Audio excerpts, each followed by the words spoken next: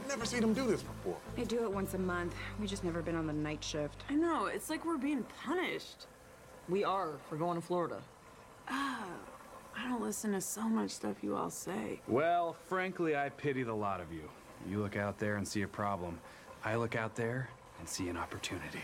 I'm gonna slide on that slippery floor all the way from Holt's office to the elevator. You're gonna do the FBP. That's right, Rosa. I'm doing the full bullpen.